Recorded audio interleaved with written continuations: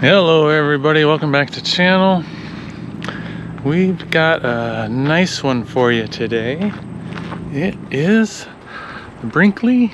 This is the 2900. Probably one of the better looking RVs on the road. Let's see what we got for numbers. Gross weight 14495. Cargo 2419 empty weight of 12,016 pounds heavy trailer especially for this size 2900 now you compare these to the Jayco Eagle or the Grand Design Reflection these are going to be a good 1500 2000 pounds heavier. So they are just built differently a little more solid. Check out the front cap. These four white pieces will light up at night. This switch right here. It's pretty cool.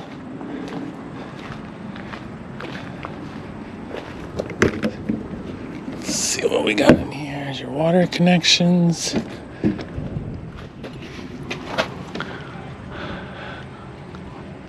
Got lights everywhere. You got light strip up across there. Of course, your leveling's in here. Nice big storage. Got some sort of rubber flooring here. You have access panels. Another access panel over there. Pretty neat stuff.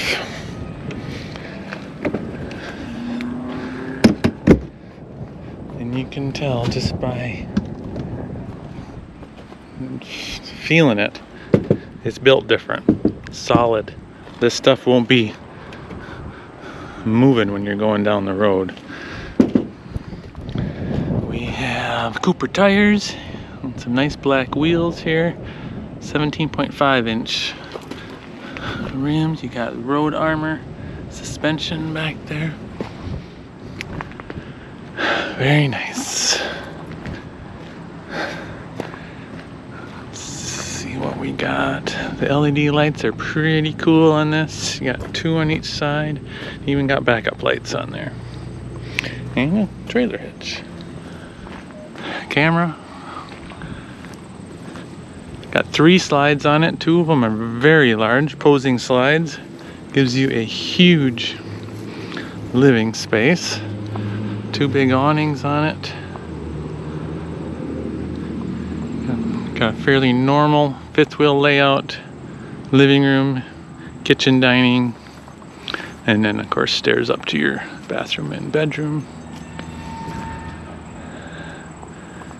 Very nice. Truck sagging a little bit.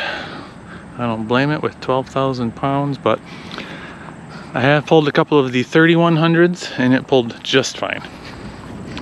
Heavy, of course, but the 2900.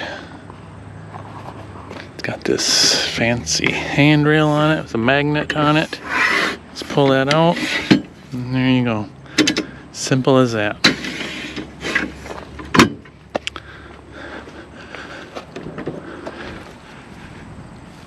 Looks like you got blinds on all the windows. Got solar panel on it.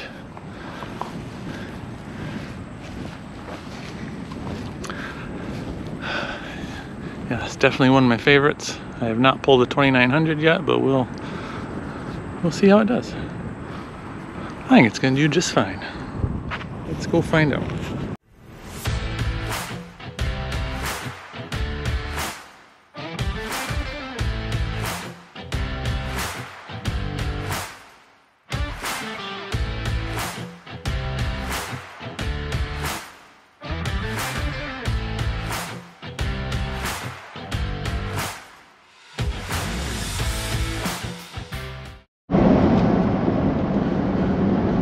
Everyone, we got this Brinkley on the road. Uh, we got the cruise set at 57. We are starting out at 12.2 miles per gallon. It's uh, very impressive for a 12,000 pound trailer. I'm guessing we will not hold on to that once we hit the interstate. Uh, it is riding very smoothly. Uh, some of the sometimes you get a shorter fifth wheel. It tends to be a little front heavy. Uh, this one is not. It feels pretty good. So we'll see how it does on the interstate in a few minutes here. All right, everyone, we are on the interstate. Uh, I got the cruise set at 67, and it is holding 11 miles per gallon. I did not expect that. I'm even getting a little crosswind today, so that is very impressive for a 12,000 pound trailer.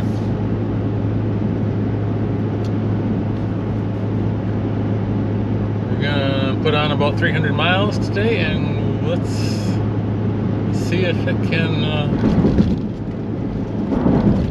hold that 11 that would be very nice. We'll find out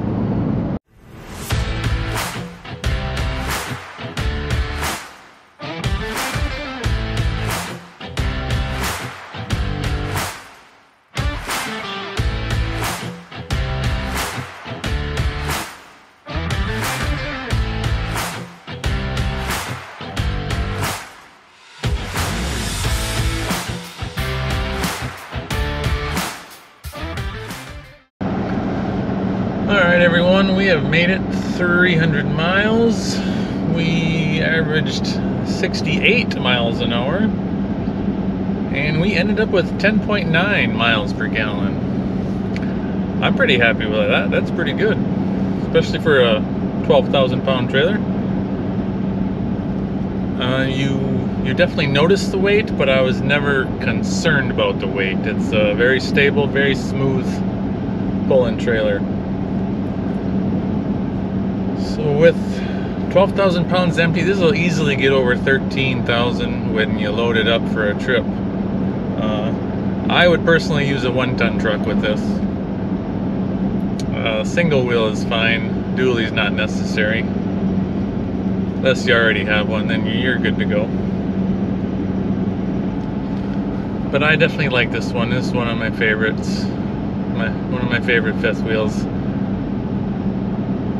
Uh, a little bit heavier than the other ones. Uh, keep that in mind if you're looking at them. But and they're they're not cheap. They are over a hundred thousand, but the quality is definitely there. All right, thanks everyone for watching the video, and we will see you on the next one.